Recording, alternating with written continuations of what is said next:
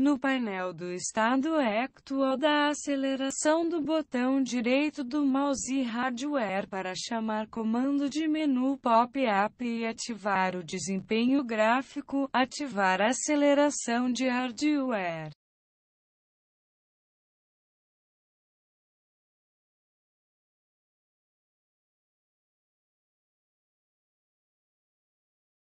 Da mesma forma, no menu suspenso AutoCAD menu vá em Configurações, sobre as configurações do sistema para alterar gráficos de desempenho caixa de diálogo.